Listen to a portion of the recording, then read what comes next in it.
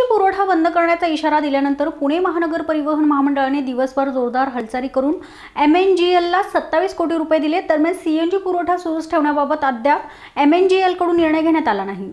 M N G एलने दिनांक बावीस मे रोजी पी एम पीशी पत्रव्यवहार करून एकूण थकीत रक्कम सुमारे सत्तेचाळीस कोटी बावीस लाख रुपये देण्याची मागणी केली होती. त्यामध्ये सन दोन हजार चौदापासून दहा मेपर्यंतची थकीत रक्कम सुमारे तेवीस कोटी त्र्याण्णव लाख रुपयांसह त्यावरील व्याज सुमारे अठरा कोटी सहा लाख आणि जी एस टी पाच कोटी बावीस लाख रुपयांचा समावेश आहे.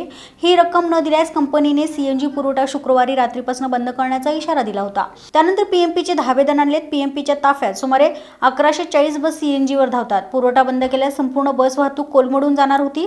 असं झालं असतं तर प्रवाशांमध्ये प्रचंड रोष निर्माण झाला असता. तसेच त्यांना मोठ्या गैरसोयीचा सामना करावा लागला असता. या अनुषंगानेच पीएमपी प्रशासनाने तातडीने हालचाली करून महापालिकेकडे पैशाची मागणी केली.